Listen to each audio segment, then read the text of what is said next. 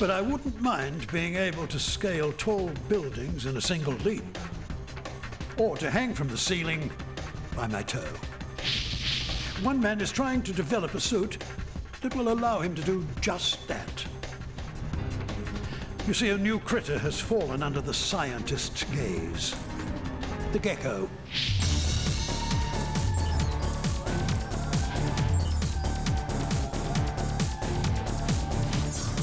If you believe that fact is stranger than fiction, bioinspiration is leading research scientists into the world of science fiction, where one day, in the not too distant future, everyone can become a superhero.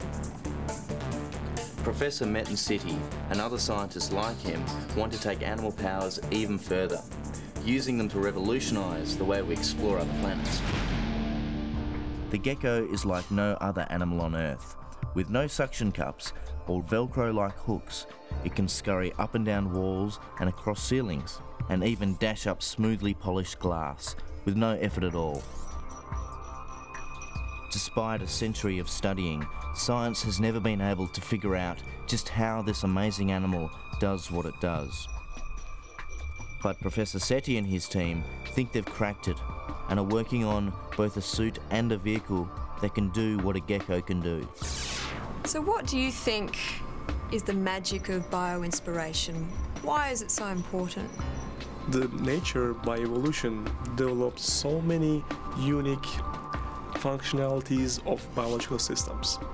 And as an engineer, what we are trying to do is try to understand how nature works, like in the case of gecko, how really they climb and use these hairs in their feet to stick. Professor Sitti says the gecko has millions of tiny hairs on its feet that are invisible to the human eye, but which gives it the power to defy gravity and literally walk anywhere, anytime. He and his team have managed to successfully mimic those hairs. So these are the synthetic hairs. So what we have done is we fabricated uh, similar fibers with our own fabrication techniques, and these whitish square areas include thousands and even overall area millions of small tiny fibers or hairs. So basically i'll show you right now we can use these synthetic fibers as adhesive of gecko adhesive. So what we do is this is a weight for example this is 50 gram weight and for a, this kind of surface which is an aluminum surface we basically attach this adhesive by pressing it. So this is like the animal presses the feet.